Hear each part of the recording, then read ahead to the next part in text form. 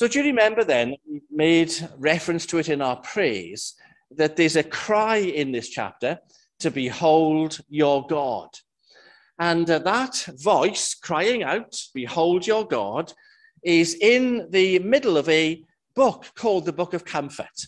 So Isaiah's ministry lasted 40 years. He's one of the great Old Testament prophets, and he has just announced that the people of Israel are going to be taken captive to Babylon. He, that's chapter 39. And then, as soon as he has preached that sermon, he brings in this message Behold your God.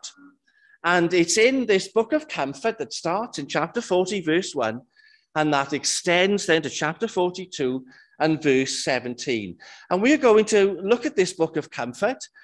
We may do it all, we may not, who knows? It seems to me that these days I can't even stick to a plan that I've made um, with a newsletter. So who knows how uh, things will work out. But we are beholding God, and first we see God as the creator God. And so, chapter 40 holds a series of portraits of God as the creator, this glorious, eternal God who is our God. And then in chapter 41, we see God as the God in control of all the nations, the God who commands the nations, who rules over the kings and the, the princes of the world, the God who is working out his purposes in history, chapter 41.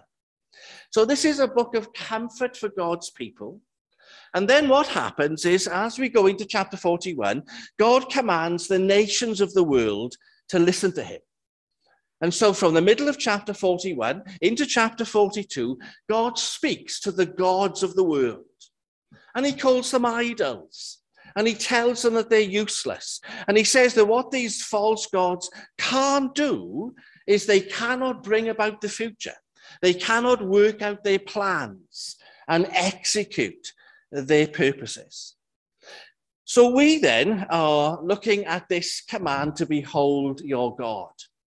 And as you come to the end of the chapter, what you have in verses 30 and 31 are two ways of looking at life.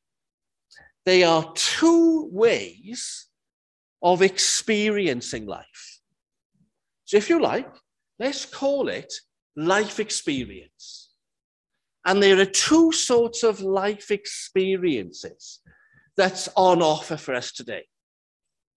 And what I'm hoping is this that whatever we listen to in the sermon, whatever we forget, we hold on to this idea that there are two ways of experiencing life. The first way is found in verse 30, where Isaiah talks about youths and young men. Now, that's the first way of looking at life.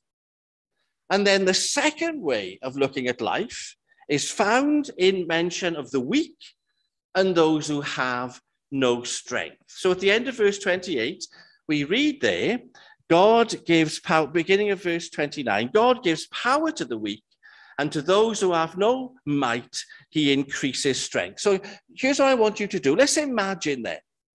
Here we have the young men and the youths. And we said last Sunday that the Hebrew term can refer to athletes at the peak of physical fitness. The word could mean an, a warrior, a soldier, trained and strong and mighty. These are the youths. And then over here, we've got the weak and we've got those who are without strength. Now, both of these can experience life in a certain way. What do we find? Look at verse 31. Verse 30, sorry. Even the youth shall faint and be weary, and the young men shall utterly fall. So here are perfect physical specimens, young and strong and fit. And what Isaiah uses are two words to describe how such can experience life. And the two words are weary and fall. And I want to spend a minute or two discussing both words with you. So let's imagine, it's not difficult. We've got pictures of soldiers on our TV screens uh, nearly every day now. We've recently had the Winter Olympics. So it's not going to be hard, is it, to imagine physically fit, strong, young, fine specimens of humanity. What Isaiah tells us is this even they can be weak. Now, the word weak that you see in verse 30, weary, you may have it in your translation, it's a word that refers to your inner sense of things. It's a word that can be described as dread. And I want to spell it out like this. This word weary, it starts with a thought. And it's a thought of something that you're facing. So I want you to identify a thought that is relevant to your experience, a thought that is linked to something that you're about to face, that may be happening tomorrow, that could happen to you next week. You know it's there, you know it's on the horizon. You know it's going to happen, but it's not yet. It's in the future. So I want you to identify that for yourself. And I want you, as you identify it, to tap into how you feel. As you bring that thought to mind, what goes on inside for you? So, for some people, it's the thought of work tomorrow. So we know work will happen. It's tomorrow. The weekend has gone quickly. And the thought of work causes dread. It causes that feeling of anxiety. That's weariness. And it may not be work, because many of you are retired. I think I know some of you well enough to know what you're dreading. Some of you are dreading tomorrow and what tomorrow may bring. Some of you are dreading the rest of the time you've got because you feel you're on your own now. Identify that thought there and tap into that feeling. That's the word weary. That's what it means. You don't feel up to it. You don't feel you've got the strength required of you to face it. As you think of your own resources, you feel a sense of lack and emptiness. This thing that you're facing, it's so big, it feels so bleak, it's, it's so uh, such a mystery, it's unsolvable. It's stretching out. There it is. And in your thoughts, it's big and it's scary and it's dark. And then you feel, as you compare yourself to it, as you measure yourself against it, you feel you're not up to it. You haven't got what it takes. You don't have in the bank enough resources to, to meet the challenge. That is the word weary here in uh, Isaiah 40. And listen to what Isaiah says. Even the youths shall faint and be weary. So, if those most perfect human beings with youth and strength and power on their side, if even they can feel like that, how much more are we going to feel like that? These young people, with all the strength of their training and their discipline, their physical fitness, if they feel that sense of, I'm not up to it, and I'm not equal to it, and I can't face it, then how much more the rest of us? That's Isaiah's point here. So, would all of you agree with this? Can you see it in your own experience? I, I don't want to tell you what you're dreading, I want you to identify what it is you're now dreading. And I'm trying to hold back because, because I know what some of you are going through. I, I want to help you to see what I'm saying. So I'm tempted to give an example, and then you'll tell me off because you'll say, Neil, you shouldn't let everybody know what's going on for me. So I'm going to hold back.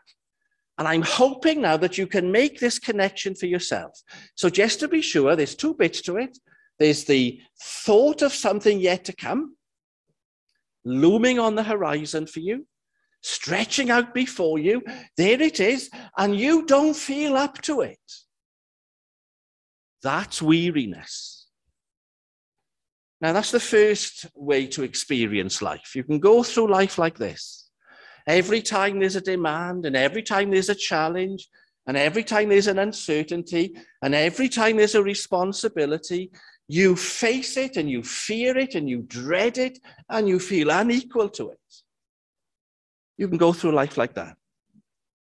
And then you got this second part of the verse the young men shall utterly fall. Now, this isn't inside now so much. It's not that sense of dread and you don't feel equal. It's not so much that. This phrase is to do with life itself, it's to do with on the outside. And this Hebrew word refers to the fact that life can be a series of challenges. It can be one after another after another. It's layer upon layer. You think one thing is sorted out, and then another comes along, and then you sort that out, and then out of the blue comes a third, and you weren't expecting it, and you're beginning to feel, well, well, when will this end? I've sorted this out. I've sorted that out. Now there's another thing. Uh, will it all be okay then? Will I have some peace then? And you sort out number three, and then lo and behold, there's another one and another one. It's layer after layer after layer after layer of challenge and difficulty, whatever word you want to put there. That's this word. It's when life presents you with a whole series of challenges. And it's often one after the other, but there are times when it can all be at once. So suddenly you're facing a whole series of different challenges. Now, when that happens in life, when life's experience is like that, then you can begin to feel that you're not up to it, that you're not equal to it. That's what the uh, word fail means uh, at the end of verse 30. So do you see the difference between the two? First is that inner sense of dread. And the second is one thing after another. You may have illness, and then there's a, a, problem at work, and then something's going on with the kids, and, and then the house develops a leak or whatever it is. It's one thing after another, and you begin to say, This is the word fail. When will it end? When will I have some peace? When will I be left alone? It's that kind of sense. Now, the youths feel like that. Again, this is the idea that even if young people can feel that life is oh, a whole series of challenges, how much more the rest of us? Now, that's one way of living life. Okay, you're relying on your strength and on your youth and on your training. That's one way of experiencing life. So, what's the second way? Well, take a look back to verse 29, and uh, for whatever reason, they're over here, aren't they? Uh, uh on my uh, left hand side, there is a, another way of experiencing life. And it's the way that the weary and the weak live life. And how do they live life? Listen to verse 31. Those who wait on the Lord shall renew their strength. They shall mount up with wings like eagles. They shall run and not be weary. They shall walk and not faint. Now, I want to encourage you to, to try and make sense of what I'm about to say. So here's the weak, and here's those who are without strength. How do they live life? And the way they live life is summed up in one word and that word we've had in Psalm 103. You have the word in Psalm 33. It's the same word that Jesus in Matthew 11 says, Come unto me, ye weary. It's the same idea. The one way that the weak live life and experience life is through the word wait. Those who wait on the Lord. So, those, the weak, the ones without strength, they engage with life by waiting on the Lord. And I want to end with a definition of waiting. And it just so happens that we can give it three meanings, okay? So the, the first is this idea of resting. Waiting means resting. And resting is the opposite of working. Okay, now stay with me. Try and follow what I'm saying. God worked six days and he rested on the seventh. This word wait means to rest. And it's the opposite of working. Now, most of you spend too much time working. And I don't mean, you know, your job. I've said already some are retired. What most of you do is you spend too much time working in terms of your mind. You spend too much time thinking about how everything's going to work out. How can we solve it all? How can I meet that challenge? How will I be up to it? What can we do about it? So, this word, wait on the Lord, it means to rest. Stop trying to work it all out and put it all together. Now, some of you will say, well, Neil, we've got to do that. Surely we've got to do that.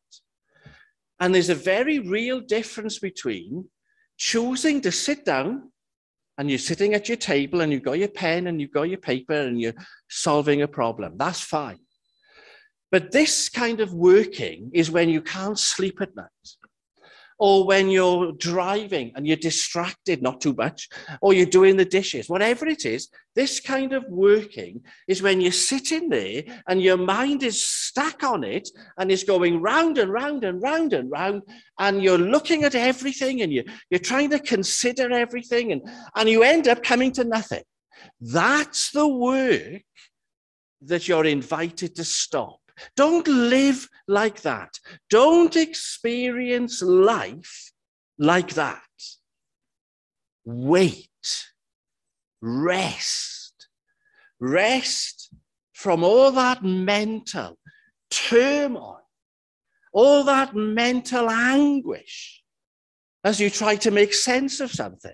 You try to discern something. You try to find out where God is in something. Stop all that Rest from that. That's what the word wait means. And what we'll see is we want someone else to do all that work for us. So, this word, it means to stop working, to rest. It then means to trust. So, whom will you trust? And this is a very real difference now in Isaiah. The youths and the young men, as they face tomorrow, or challenge after challenge after challenge, where's their confidence then? Well, they go into trust, aren't they, in their bodies, in their training, in their discipline. They're going to trust in their physical uh, strength. Their trust will be in all their preparation all the hard work that they've put in. They'll trust their weapons if they're soldiers. So trust is centered around the self. It's centered around the person. All your skills and your knowledge and your experience and your training, it's centered very firmly on you. Now, that, says Isaiah, experiencing life like that will result in weariness and failure. the trust that marks the weak and the trust that marks those who are without strength is the trust that is demonstrated in waiting on the Lord. You see it there, don't you? Listen again to verse 30. Those who wait on the Lord. Now, there is the trust.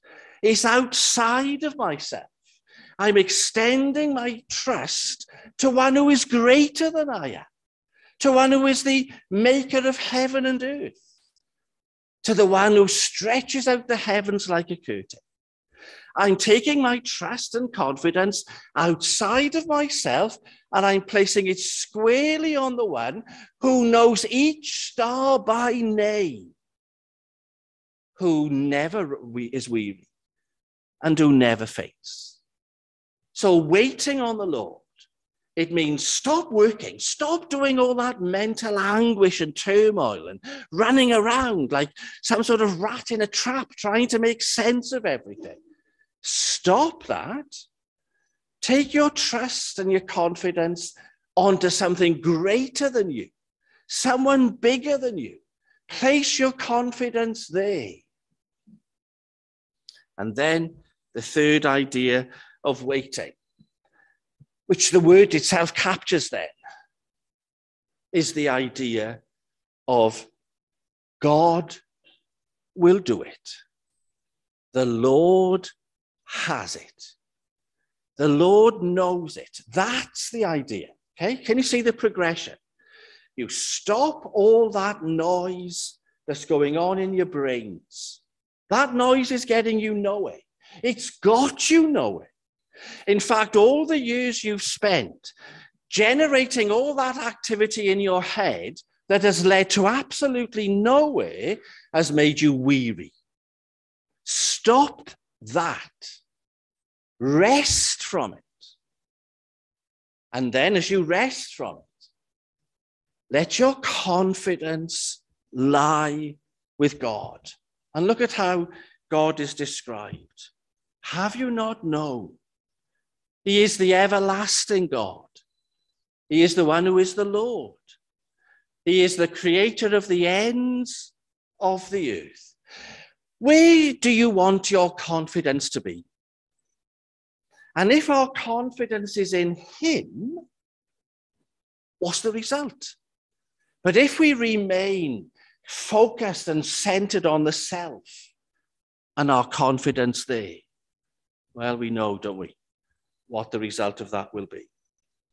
So it's stop working, place your confidence, and then the hardest thing for any human being to do is just wait. Don't you find it hard to wait? And I'm not talking now about, you know, waiting for the birthday present or, you know, whatever. Don't you just find it hard to wait when it comes to life and the experience of life? The hardest thing is to be still and to wait because we want to know and we want to be in control and we want to find out and we want to be certain. So here is this idea of just wait. I'm going to put it like this, and it's a really bad example. When you're watching TV and you're watching some thrill thriller, let's imagine that, okay? So you're watching, could be a film or it could be a series, and as you're watching the drama play out, you, you don't have a clue what's going on and you're sitting there and you're thinking, oh, who's that character now? And, and how does she fit into the drama? And, and what did he just say now? Uh, and what's he going to do? And there you are, you've got no idea what's happening and you want to know. So you want to know why she just said that and, and why has he got a briefcase and, and what's he doing there? And the answer is just wait and it'll all be revealed to you. Just wait. The plot has to develop. The characters have to come and go. The story has to continue. Wait. And that comes close to the Hebrew idea of wait. In your life, You want to know. And you want to know how you'll be. And will you manage? And are you going to cope? And will it be okay? And can you do what you want to do? And will this plan work out? And you, you want to know all these things. And your mind is in this turmoil. And here comes the voice of God. Wait. Live with not knowing. Live with uncertainty. Live with as much as you know right now. Because all you need to know, you know right now. And whatever you need to know tomorrow, you'll know tomorrow. You won't know it today. And it doesn't matter how much you try or how long you think or how much you plan, you will not know today what you can only know tomorrow. So wait.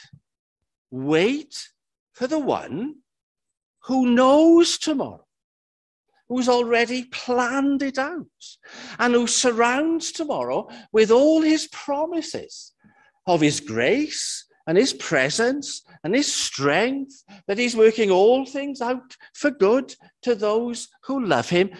Wait. And if you can wait, then what Isaiah does is this he tells you the most wonderful picture of what life will be like. So, are you ready for the last bit? Two ways of living. There's the youths in a dread, challenge after challenge, we're not up to it. And then there's the weak, and with those without strength. And as they live life, their life is marked by waiting.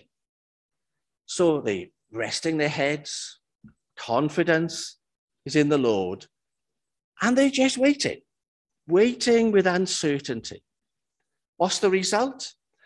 Well, verse 31 ends like this, and it ends with a picture of what's described as renewal. If you live by waiting on the Lord, then your experience of life will be one of renewal. Now, I'm saying this to myself as much as I am to you. We are all learning things at the same time, aren't we? I'm no different, I'm no better. We learn together. So, if I can learn to experience life by waiting, this is what life will be like. They shall mount up with wings like eagles. They shall run and not be weary they shall walk and not faint. Now, that's a description of renewal. And now and again, I manage to make points beginning with the same letter. I can't do it to end this sermon. I've got two, but not three.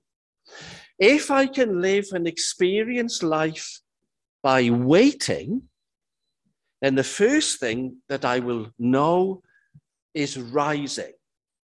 I will rise up on wings like the eagle. And then the second way that I'll experience life is this I will run and not be weary. And then the third way that I shall experience life, and if you can do it, please find a letter R word. I will walk and not be faint. So these three become the way that I experience life. And it's because I wait on the Lord. So I rise up on the wings of an eagle. We saw that in Psalm 103. It's a reference to Moses and how Moses brought the children of Israel out of Egypt and he caused them to cross the Red Sea. And they came to Mount Sinai on the third day. And God says, When they arrived, I have brought you on the wings of an eagle. That's the background to that phrase I will rise. That's how I'll experience life. If I can wait, then I can rise. I can then run. Listen to it again in verse 30. They shall run and not be weary. There's that word again. And then finally, they shall walk and not faint. Now, I want to make a suggestion as we come to an end. All of us, I think, find it difficult to keep in our minds, don't we? Um, a sermon that we've heard. And by the end of a Sunday, we've often forgotten, and that's fine, absolutely fine. It's very difficult to do that from one Sunday to the next. So this is my suggestion. If you look at the, the uh, end of verse, well, look at verse 31 as a whole. Those who wait on the Lord shall renew their strength, mounting up on wings like eagles, running and not be weary, walking and not fainting. Do you see that that is linked to our description of God that you find in verse 28? Look at verse 28. Have you not known? Have you not heard? The everlasting God, the Lord, the creator of the ends of the earth, neither faints nor is weary. So there's that clear link between a God who doesn't faint and isn't weary and youths fainting. And then if we wait on him, we won't faint and we won't be weary. So what we end is with this. We have a description of God here. We've described the youths, we've described the weak, but we've got a description of God in the middle. And if we wait on the Lord, and we stop working, remember now, if we do all that so that we can rise and run and walk, this all fits, it all flows from a description of God. So here's what I'm going to suggest, and I'm sorry that if it upsets you, because I know many of us can only come on a Sunday morning, but I want to do it tonight. I want to come to this vision of God who doesn't grow weary, and who doesn't faint. And in describing him and then talking about waiting for him, we can then bring the day to a close. We begin that day with us and we'll end that day with God. We'll begin the day with our weak and experienced life, either weary and faint or by waiting. And then we can bring the day to a close as we come to God and have our vision of Him. To me, that seems the best way to do it. I'm sorry if it doesn't fit, but that's what my thoughts are. Let's do that today as best we can. Let's pray.